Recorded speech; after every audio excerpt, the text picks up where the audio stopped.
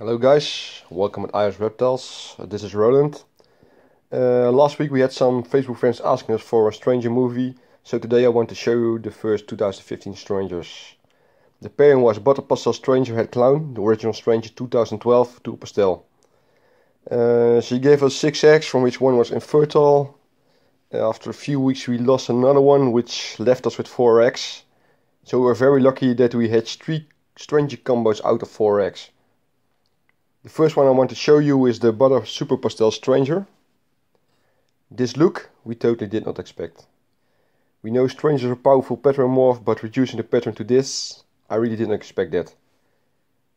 It does have the stripe and the light eyes, which you see in most Stranger combos we did so far. And the little side pattern, this one, yeah, this one has, you can also still recognize the Stranger gene.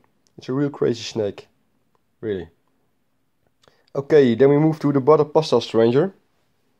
This is, yeah, uh, totally what we expected. Looks like his father when it hatched back in 2012. Last year we had another one, which looks the same.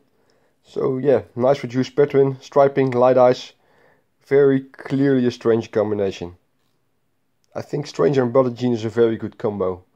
We didn't do too much Stranger combos yet, but uh, the ones we've seen with butter. They are really, really nice. And talking about that, uh, let's move on to the last combo, the Butter Stranger. You can see the power of Stranger. This is also not what we expected. We are just looking at a double G morph, but see what Stranger did to the butter. Really, really incredible if you ask me.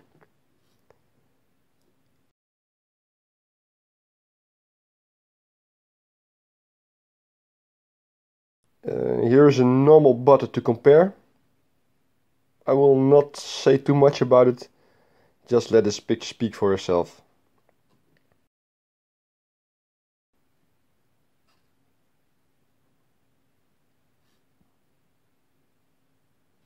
Okay guys, I hope you liked this small movie about the first 2015 Strangers. Please feel free to comment below. Look forward to read what you think of these combos. Thanks for watching and uh, see you back next time. Thank you.